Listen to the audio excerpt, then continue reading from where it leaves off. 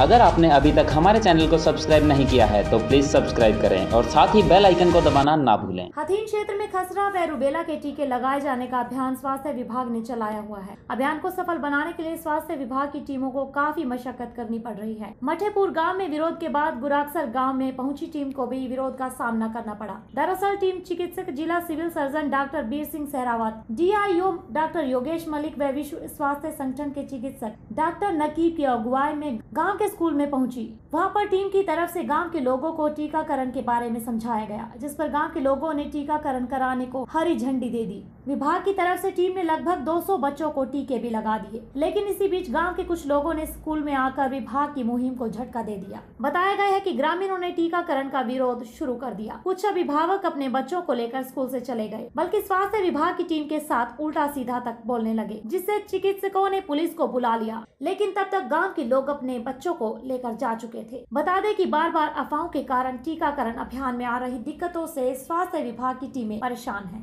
वहीं गाँव की मस्जिद के मौलवी ने भी लोगों को जागरूक होकर टीकाकरण में रुचि दिखाने और अफवाहों पर ध्यान न देने की बात कही और जिस दौरान ग्रामीण डॉक्टरों से बात कर रहे थे तब भी मौलवी ने पूरा सहयोग किया था लेकिन अनपढ़ता के कारण समझ में नहीं आई। मेरा नाम हाफिज जमील। हाफिज जी जो आज स्कूल में रूबेला के टीके लगाए जा रहे हैं तो लोगों में कुछ अफवाहें फैली हैं। तो क्या मानना है ये सारी अफवाहें गलत हैं ऐसा कुछ भी नहीं है।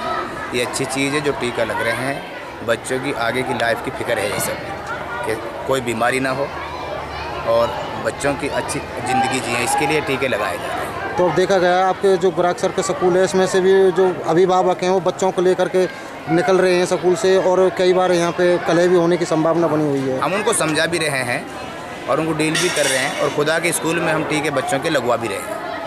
और जैसे मेरा आठ नौ बच्चे तो मैंने भी सबके अपने बच्चों को टीका लगवाया है। पहले हमने पूरी बात को समझा एक हफ़्ते तक। एसडीएम साहब आए डीसी साहब आए सीएमओ साहब आए सबसे पहले पूरी बात समझी है। उन्होंने पूरे हमें सुवेशन इसका दिया है कि सही चीज़ है।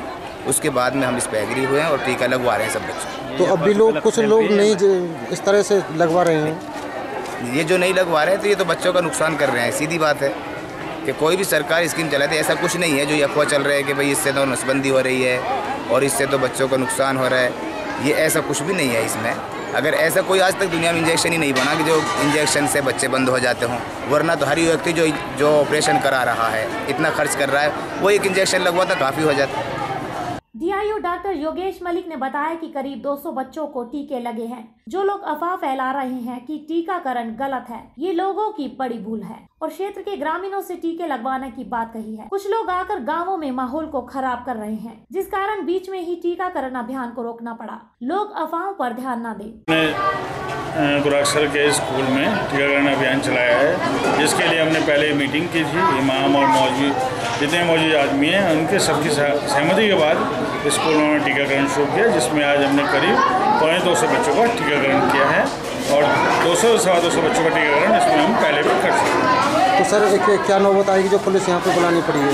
तो लोग गाँव के कुछ शरारती तत्वों ने यहाँ पे आके हमारे स्टाफ के साथ बदतमीजी करनी चाहिए जबकि हमने ये टीके सबकी सहमति के बाद ही लगवाने शुरू किए। तो क्या कह रहे थे जो शरारती तत्व आए थे यहाँ पे? वो अपने बच्चों को टीके लगवाने से मना कर रहे थे और जो ज़्यादा जिद पा रहा था हमने उसको मना कर दिया कि हम आपके बच्चों को टीका नहीं लगाएँगे। क्या संदेह बताया उन्होंने टीका लगवाने में? संदेह उनका यही है कि इस टीके से नसबंदी हो जाती है परंतु ये टोटली वहम है ये सभी बच्चों को लगाए जा रहे हैं चाहे वो हिंदू हो चाहे मुसलमान हो। इस टीके में ऐसा कुछ भी नहीं है।